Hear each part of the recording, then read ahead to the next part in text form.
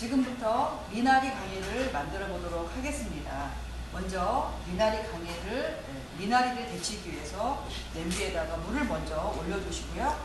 미나리는 잎을 제거를 한 다음에 질긴 부분도 다 정리를 하시고 씻어서 준비를 하시면 되겠습니다. 길이는 네, 손대지 마시고 이파리만 네, 정리해서 네, 준비를 하시면 되겠습니다. 냄비에 물이 끓으면 약간의 소금을 넣어서 미나리를 살짝 데쳐서 찬물에 헹궈주도록 하겠습니다. 끓는 물에 소금을 살짝 넣어서 미나리를 데쳐주겠습니다.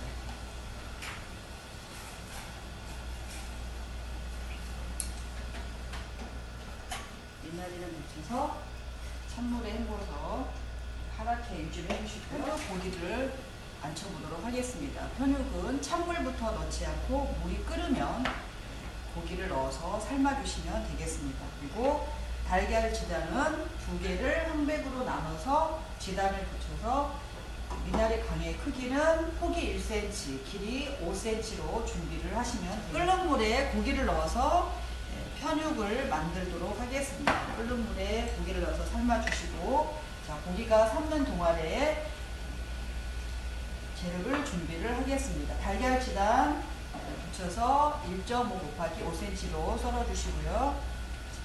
홍고추는 길이 4cm, 두께 0.5cm로 잘라서 준비를 해보도록 하겠습니다.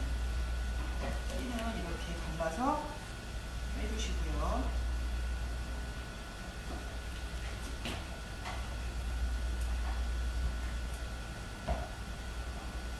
홍고추 길이 4cm, 두께 0.5cm 크기로 8개를 준비를 하겠습니다.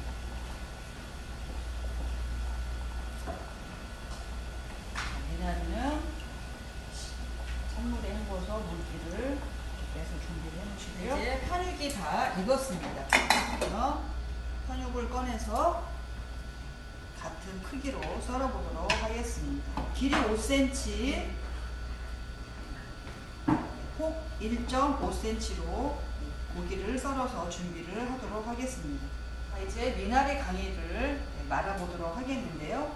자, 먼저 고기를 맨 밑에다가 깔아주시고, 그 다음에 달걀 흰자, 그리고 달걀 노른자를 올려주시고, 그 다음에 홍고추, 이렇게 가운데다가 올려주신 다음에 미나리를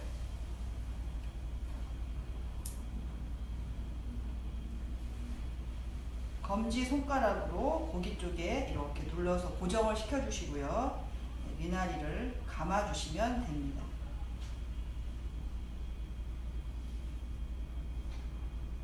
자, 세네 번 감아주시는데요. 이렇게 강해에 3분의 1, 1 정도가 될 때까지 미나리를 감아주시고 이때 미나리 길이는 잘라주시면 되겠습니다. 그리고 꼬지를 이용해서 이렇게 미나리를 살짝 잡아 당겨서 고정을 시켜주시면 되겠습니다. 꼬지로 잡아 당겨서 네, 고정을 시켜서 이렇게 강의를 말아주시면 되겠습니다. 자, 8개를 말아 주셔야 됩니다. 미나리 강해가 8개를 감았으면 접시에다가 이렇게 세팅을 하겠습니다. 세팅을 해주시고요.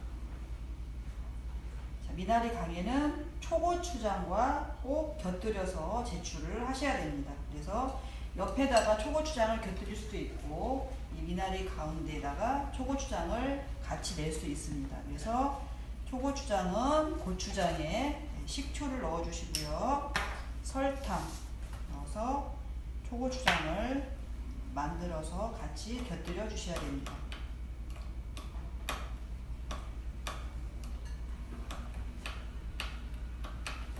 봉지에 담아서 올려서 같이 내주시면 되겠습니다. 미나리 강의가 완성되었습니다.